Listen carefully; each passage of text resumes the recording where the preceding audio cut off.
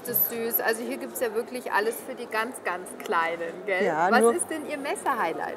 Also das ist jetzt unsere Linie Bruno, der Bär, Och, mit seinem moi. Freund Sammy, der Oh. Sägefisch.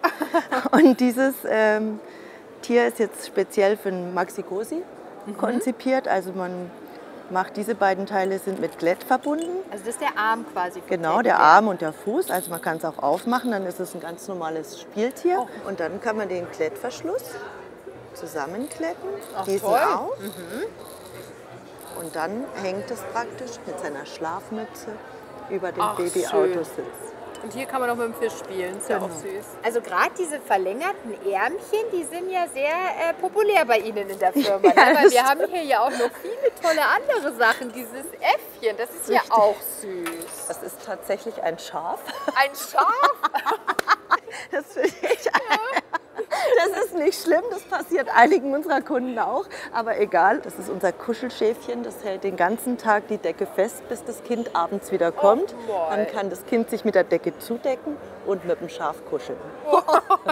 Also es ist wirklich herzallerliebst. Das muss man an der Stelle ganz klar so sagen. Jetzt sind Sie ja vom Design. Mhm. Wie ist es denn? Also wie lange braucht denn sowas, um so einen süßen kleinen Teddybär zu kreieren? Das kann man eigentlich zeitlich nicht festmachen. Manchmal Ja. ist es einfach so, dass man beim Spazierengehen auf eine Idee kommt oder man sitzt tagelang im Büro oder man zeichnet einfach vor sich hin. Man kann es nicht direkt festmachen oder man schaut mal, was andere haben oder man liest Bücher. In Wahrheit kommt die Idee einfach meistens und ist da. Toll. Und dann zeichnet man und zeichnet man und, und während dem Zeichnen kommen immer noch mehr Ideen, noch mehr Ideen, entsteht das Gesicht. Also es ist ein Prozess, der, den man schlecht beschreiben kann, aber jeder Designer äh, macht es auch anders Ja. und Toll. bekommt andere Ideen. Aber Also wirklich im Grunde ganz, ganz süß. Ganz, ganz süß. freut mich sehr. Vielen herzlichen Dank für das schöne Interview. Gerne. Danke.